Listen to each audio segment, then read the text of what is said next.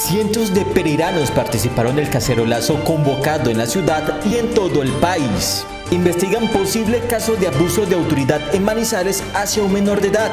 El joven adelanta procesos jurídicos. Lo que comenzó como marchas pacíficas y tranquilas terminó en caos y disturbios en algunas ciudades del país, entre ellas Cali y Bogotá. En Armenia fue capturado un médico que presuntamente abusó sexualmente de una menor de edad. Además del toque de queda que se decretó este viernes para Facatativá, Cundinamarca, hacen parte de la información regional y nacional. Obras sociales y buenas acciones también hicieron parte del paro nacional en Colombia. Habitantes del barrio Santa Elena en Pereira denuncian deterioros en vías y viviendas por el constante tráfico de vehículos pesados. Desde el 22 de noviembre hasta el 24 del mismo mes se llevará a cabo la primera feria denominada Pereira Ambiental. Culminó con éxito el Festival de Emprendimiento y Cultura Digital Héroes Fest y Colombia 4.0.